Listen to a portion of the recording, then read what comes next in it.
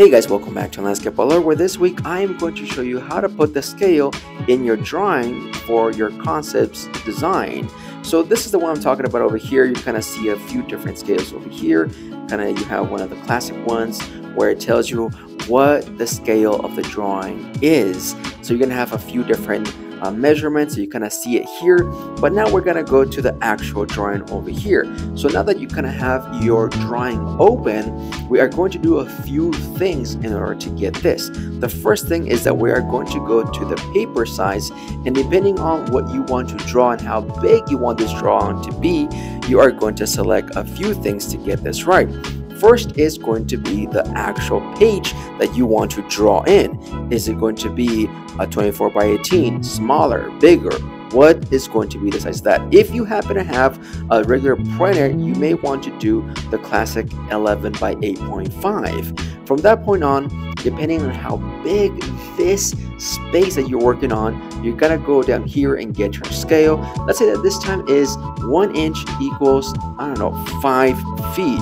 You're gonna put five in this one, and then instead of having the inch, you're gonna put feet.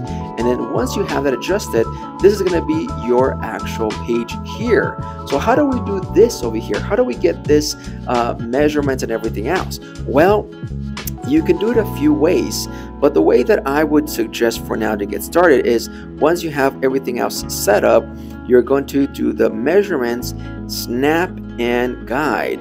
So this is important right here with the guide. And the way you want to use this is that you want to open this and get your line. And from that point, you are going to measure something. So let me remove for now, kind of get it close over here. So let's say this corner over here. I'm to click on it again. Actually, I just moved the guide over here, kind of bring it over.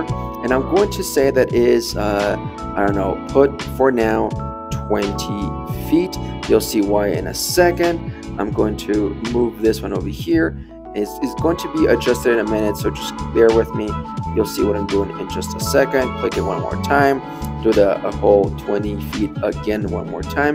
There it is. Now, if you click on it, it's going to allow you to stay with that measurement.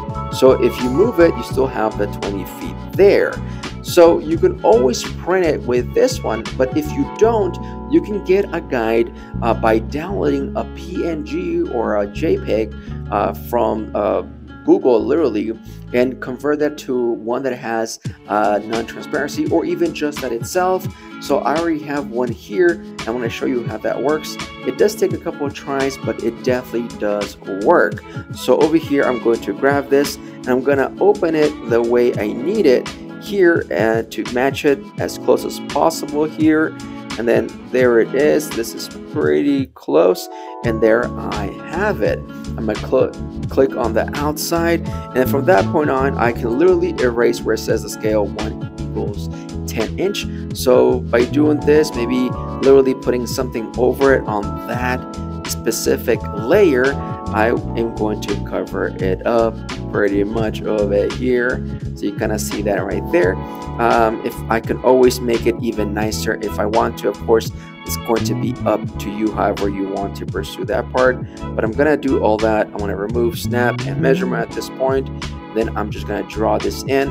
And then what you want to do is this here where you have a capital A and a small a you click on that one you click where you want it and then you are going to literally write in there the one inch equals right there the five feet. You press done and there it is.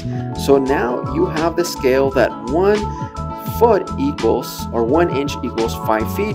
So there you start drawing your lines after that. At that point you can literally do whatever you decide in terms of if you are just wanting to draw something there. So let's say that uh, you use your ruler again which is something I didn't talk about last time. But in there you're gonna have a few options line arc angle ellipse and rectangle just says rec but you know what I mean. It means that exact thing. So you click on it and from there on it pretty much gives you a guide to draw in it. So just to give you a bit of an example you can have the rectangle. We're gonna go now to uh, ellipse. And if you click on it it's going to give you a perfect circle. So you kind of draw it there and then from there we can go to uh, angle to give you like a nice 90 degree angle per its name. You click on it there and you're gonna go through the rest. And I already show you the line. It's to be pretty much all of them that there are here. But that is the basics to one get you your scale on your drawing. And of course as I mentioned before it's going to depend on how big of a page you are going to be drawing on. If this is a small one or a large one you are going to adjust to that and how big you want this drawing to be.